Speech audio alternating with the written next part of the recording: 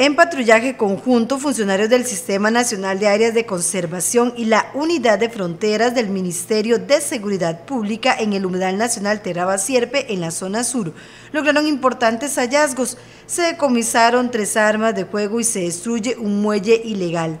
Además, se revisa una apertura ilegal en bosques en donde se ubica una tala ilegal precisamente en Bocasierpe.